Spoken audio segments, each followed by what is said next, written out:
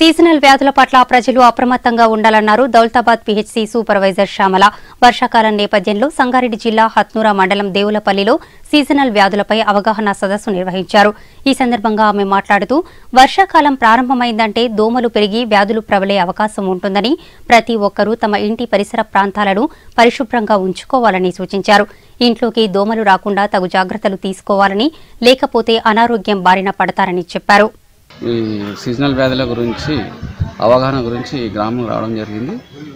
ఈ ఇంటి ముందు చిన్న చిన్న బోకెలు కానీ టైర్లు కానీ పాత టైర్లు కానీ తర్వాత నీటి తొట్టిలు కానీ మూతలు పెట్టుకోవాలి. పెట్టుకోకపోవడం వల్ల దోమలు అక్కడనే గుడ్లు పెడతాయి. లార్వా తరైతే దోమలు దోమలు అవుతాయి ప్లస్ దీంతో చికెన్ గున్యా మెదడు వాపు తర్వాత మలేరియా తర్వాత డెంగ్యూ ఇట్లాంటి వ్యాధులు కలుగుతాయి. ఈ రవి రాకుండా ఉండాలంటే పరిసరాలు శుభ్రంగా ఉంచుకోవాలి.